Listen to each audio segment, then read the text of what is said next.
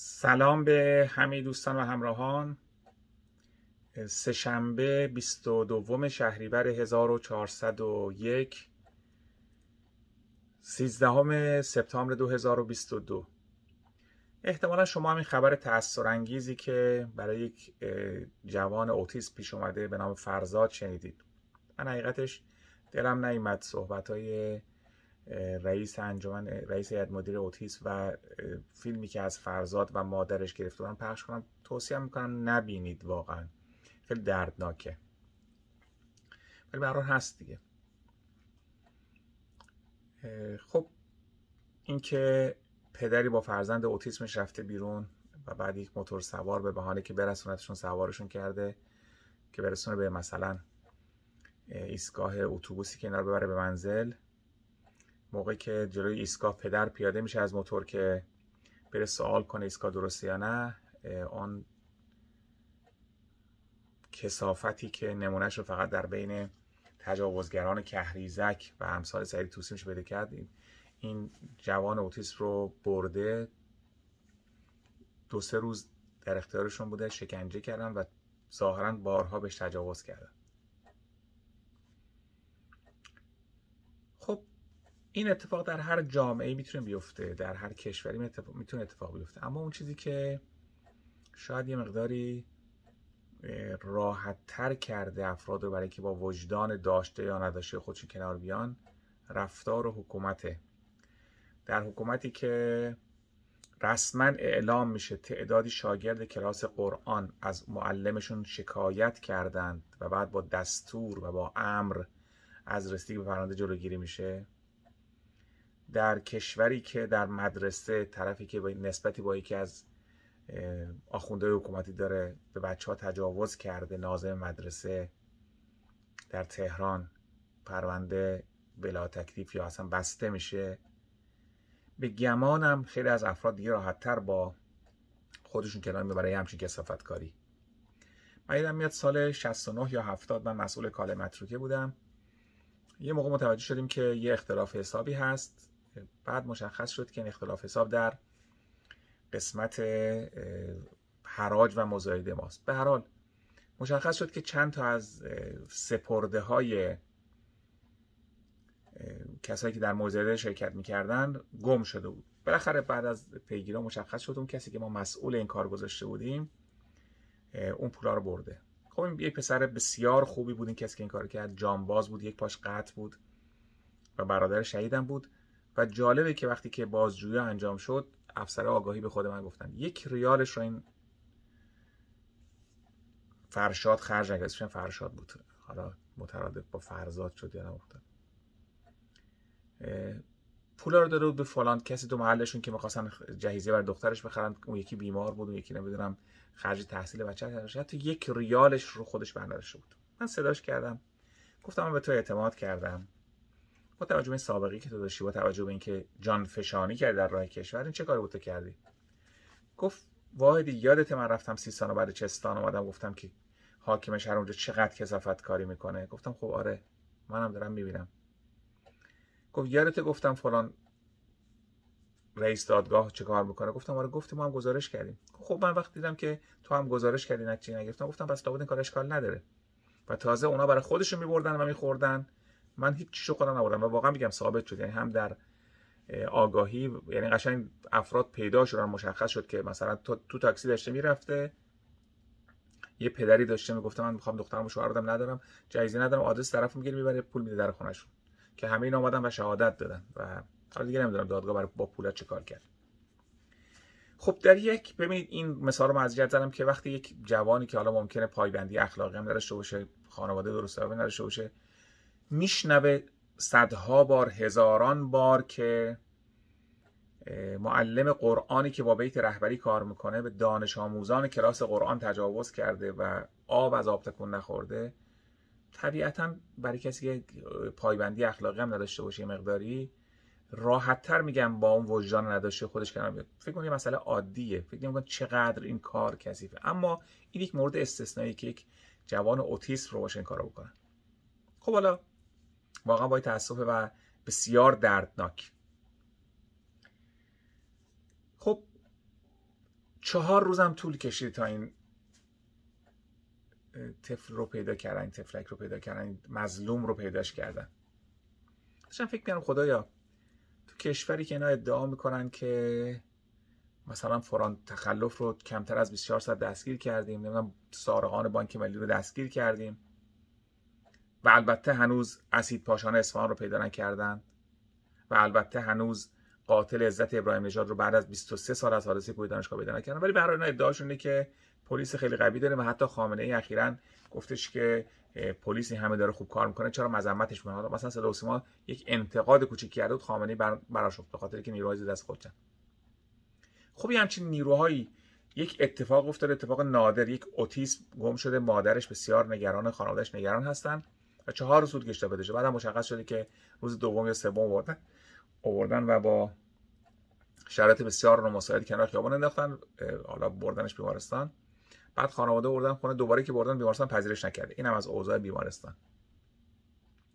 من از هر دو جهتش بحث دارم. هم از جهت امنیت کشور و ماموران انتظامی حالا فردا یکم ممکنه بگیرن یا واقعا همه دستگیر کنن متهم رو یا که بگیرن اعدام کنن مثل بسیاری از مواردی که من تردید دارم در در صحت ادعاهاشون و در صداقتشون.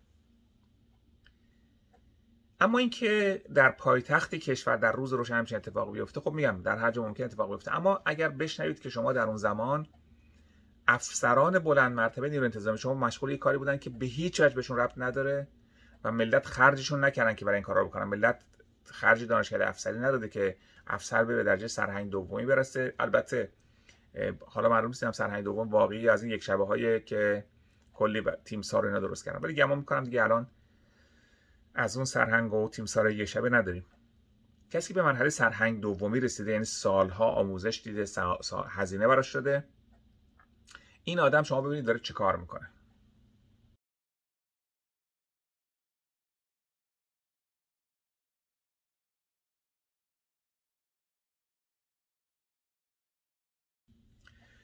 ببینید الان یه دمی من میگن آقا این کار ثوابه. اصلا ثواب نیست دوستان. یک رسمی هست عراقی ها جوانانشون نوجوانانشون من به عنوان افتخار این کار می‌کنم من اصلا خوب و بدش کاری ندارم. میگم به عنوان اهالی عراق به عنوان یک کاری که حالا تبرک می‌دونن من میگم مثلا وارد مقوله نمیشم. محتوا کاری فقط دارم شکلی بحث می‌کنم. که البته کار بیهوده مثلا این کسایی که قرار پیاده تو خاک و خور را برن حالا واکس دادن کفش من نمی‌دونم چه فایده ولی به هر حال جوانای عراقی این کارو می‌کنن و اصلا تعداد انقدر زیاده که زائر کم میاد یعنی انقدر تعداد واکس اون وقت باید سرهنگ نیرو انتظامی ما بشینه کفش واکس بزنه. واقعا ما تو اون نقطه مرزی با اون همه گرفتاریایی که مردم داشتن که امسال دیدیم در دولت بیکفایت رئیسی چه اتفاق افتاد؟ رئیسی که قبل از راهپیمایی می‌گفت من یقین دارم بسیار از مشکلات دیگهمون هم با راهپیمایی اربعین حل میشه. و دیدیم چه گندی زد در مورد همین که هر سال داره برگزار میشه. و آیا واقعا تو اون شرایطی که بحران در بین زائرها هست جایی درست حسابی ندارن؟ آب در اختیارشون نیست جای استراحت ندارن سرهنگ دونتیزم اگه تازه رفته اونجا کارش اینه که واکس بزنه؟ من که میگم اگر نیرو زیادی نباید داره وقتی در شما در کشورت زورگیری دارید هر روز در پایتخت کشور و یک همچین فاجعه رخ میده این جنایت که افسر نیرو انتظامی بشه کفش واکس بزنه. و فقط هم ریاست من اصلا قبول نمی‌کنم که این کار برای رضای خداست برای رضای خدا کسی جلو دوربینی کارو نمی‌کنه. قدیم می‌گفتن که اصلا نماز یواشکی بخونید نمی‌دونم نماز شب یواشکی بخونید روزه به کسی نگید روزه هستیم نماز شب اگه می‌خونید به کسی نگید. که جو کم درست کردن می‌گفتن که طرف خواسته مثلا مستقیم نگه نماز شب می‌خونه که ریا نشه. گفته دوستان شما هم وقتی نماز شب می‌خونید تشنتون میشه من عجیب تشنم میشه. خب اینقدر سفارش می‌داد ریا نشه. افسر نیروی با لباس فرم بشینه اونجا خیلی ریلکس تازه یکیشون بیکار نشسته یکیشون داره واکس می‌زنه. این واقعا حالا میگم زمین که ریاکاریه. گناه دوستان گناه کبیره است اگه اعتقاد دارید مردم تو ناامنی باشن جنایت اتفاق بیفته تو پایتخت و افسر نیروی انتظامی نشسته باشه. حالا رفته مرز برس به زوار مگه نرفتی برای زوار؟ یه خدمت دیگه به زوار بکن. کفش واکس مگه کفش کار توئه؟ دست پیرزن رو بگیر دست پیرمرد میگم که اصلا اون هم کار یه افسر نیست افسر انتظامی. میگه سالها آموزش دیده سالها از بودجه مردم آموزش دیده. سالها وقت خودش گذرونده گذاشته که به اینجا برسه. آیا فقط وظیفه شما اینه که درصد بالایتون تو خیابون مردم کتک بزنید؟ و باید برید مثلا با واکس زدن جبرانش بکنید؟ و اون وقت در همون شرایطی که شما اونجا نشستید دارید واکس می‌زنید به عنوان تفریح در پایتخت کشور یه همچین جرایت اتفاق بیفته؟ خجالت نمی‌کشید که زمانی که شما واکس می‌زدید ببینید یه دنگن مخالفت با اربعین من اصلا وارد مسائل نمیشم. من میگم هر کسی نقشی داره. کسی انتخاب کرده بره راهپیمایی اربعین بره به من ربطی نداره. اونی که من ربط داره اینه که امکانات کشور که متعلق کل ملت اینا واگذار کنید. سالهای سال اینا می‌گفتن که شما همینقدر که از مرز بگذرید عراقی ها همه چیز رو تعمین می‌کنن. غذا آب دستشویی محل استراحت واکس موکب. خب حالا پس کو چرا باید افسر نیروی انتظامی این کارو بکنه؟ این قطعا جنایت دوستان. حتی اگر ببینید یک درصد اگر حضور این سرهنگ در تهران یک درصد احتمال چنین جنایت کم کنه رفتنش جنایته. یک درصد باعث فرزادها و فرزاد دچار همچین حادثه غمناکی نشن. اگر یک درصد فقط احتمال حادثه رو کم کنه رفتن این افسر نیروی انتظامی هم دزدی از کارش هم جنایته. و این حکومتی که در خودش تجاوز هست دزدی هست. اصلا براشون الان حتما خنده داره. حتما هم میان روی این یه علم شنگر هم که فلانی هم مخالف اربعین شده. من حتما مخالف این تشریفات دروغین و ریاکارانه هستم. حتما مخالفش هستم. اگرچه مذهب گفتم من خودم یه آدم مذهبی هستم تو پس خونم. سالهای سال میگم به ما می‌گفتن که ریا نکنید. این مظهر ریاست. که شما برید جلو دوربین کارا رو انجام بدید. اون که راهپیمایی میره خودش می‌دونه با خدای خودش و حتما هم اگر کسی با صدق نیت انجام بده کار خوبی کرده. من کاری بهش ندارم. ممکن من یعنی ممکنه قطعا من اگر وقت اضافه داشته باشم اگر بخوام کار کنم کار خدمت به مردم خیلی زیاده. نمیرم 15 روز 20 روز واقعا پول مفتم ندارم 15 20 روز بخورم که کار نکنم. ولی به هر حال فکر کنم یه نفر اصلا گرسنگی می‌کشه. اما واقعا کار افسر نیروی انتظامی این تربیت شده برای این؟ مردم ازش همچین توقعی دارن؟ متاسفم واقعا. و این چیزی که جمهوری اسلامی درست کرده هیچ چیزی در جای خود نیست. سالها ما از این آقایون شنیدیم که عدالت یعنی هر چیز در جای خودش باشه. این حکومتی که سرتاپا ظلمه طبیعتا در این عرصه هم نمی‌تونه عدالت رو برقرار کنه. و امیدوارم که خود مردم اندیشه بکنن. ثابت شد که خامنه ای که قطعا دشمن ملت ایران بدون شبهه و برای کسانی که به خدا و آخرت اعتقاد دارن من قسم جلاله می‌خورم نه خمینی به خدا و آخرت اعتقاد داشت نه خامنه ای سایر عناصر حکومت هم که می‌بینید از همین نمت هم می‌خوان کرای بر خودشون درست کنن. مطمئن باشید تو این وام های 5 میلیون و 3 میلیون می‌برن و می‌خورن. ببینید آمارها نشون میده که میگم از بر آماری که خودشون گفتن وضعیتی که دارید می‌بینید شما و میگن طرف عراقی خیلی کند برخورد می‌کنه. 850 هزار نفر برگشتن اینطوری که آمار اومده. ولی ندارم که 5 میلیون نفر و مطمئن باشید بابت این 5 میلیون نفر بودجه گرفتن. مطمئن باشید بابت 5 میلیون نفر وام می‌گیرن. ده ها هزار میلیارد تومن هزینه میشه. توش سوء استفاده میشه. بعد میان